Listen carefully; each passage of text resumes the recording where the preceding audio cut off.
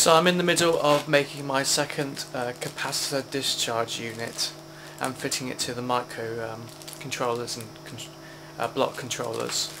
Um, I've had to fit them because because the um, both block controllers use the same power supply when uh, a block controller tries to control one of the points at the same time as another controller is trying to control its points they don't actually move because there's not enough power.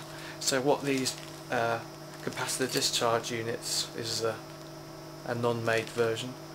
Um, what they do is they charge up the capacitor and then release the power to the point not actually affecting the main input power supply.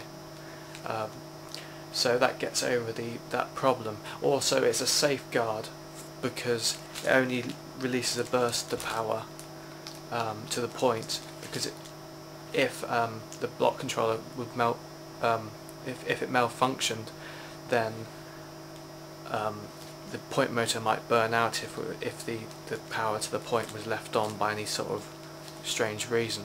So that that's a, it's a safeguard and also it fixes a problem that I've had during the project. So I'm just making them at the moment.